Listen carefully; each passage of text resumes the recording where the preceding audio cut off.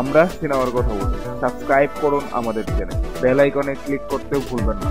এই বছরের সেরা ধামাকা যে হতে যাচ্ছে জিতের প্যান্থার, তা বলার অপেক্ষা রাখে না। সম্প্রতি প্রকাশ করা হয়েছে জিত অভিনীত অ্যাকশন সিনেমা প্যান্থারের সেকেন্ড লুক টিজার। আর এই টিজারেই বুঝিয়ে দিল কি ধামাকা নিয়ে আসছে জিত। জিতের সাথে সিনেমার সতেরো বছর উপলক্ষে চোদ্দই June Panther cinema first look teaser প্রকাশ করা হয়। সেই টিজারে শুধুমাত্র জিতের লুক এবং এক্সপ্রেশন দেখানো হয়। কিন্তু এবার দ্বিতীয় টিজারে জানান দিলেন গল্পের আভাস। টিজারের শুরুতেই দেখা যাচ্ছে ভারতের গুরুত্বপূর্ণ কিছু ভবনে বোম ব্লাস্ট হচ্ছে।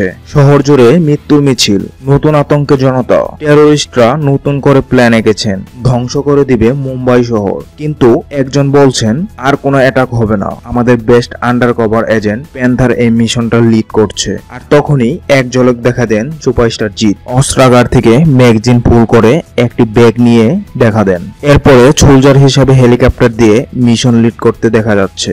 জিতকে এই সিনেমায় একজন লড়াকু সৈনিক হিসেবে দেখা যাবে। টিজারে জিতকে বেশ কয়েকটা লুক পরিবর্তন করতে দেখা গেছে। বিভিন্ন অপারেশন পরিচালনার জন্য এই ভিন্ন ভিন্ন গেট আপ এই সিনেমার নায়িকা হিসেবে অভিনয় করেছেন রদ্না দাস।